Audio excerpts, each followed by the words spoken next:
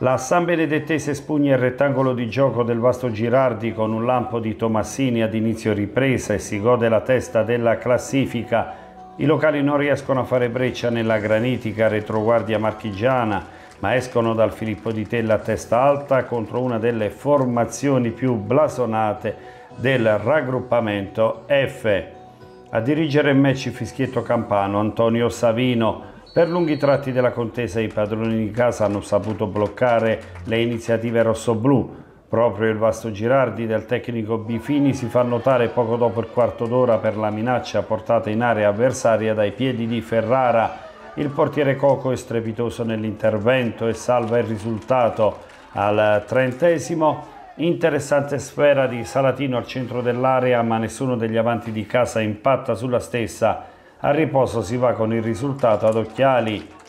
Alla prima vera occasione al cambio di campo la Samb passa in vantaggio. Siamo al quinto quando Tomassini finalizza un'azione condotta da Cardoni.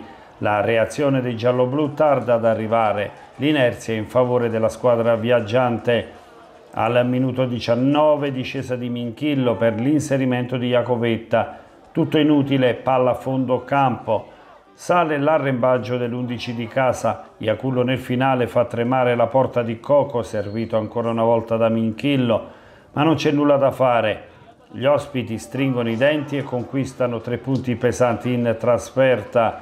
I molisani scivolano pericolosamente al terzultimo posto e nella prossima domenica saranno chiamati ad affrontare il Monte Rotondo.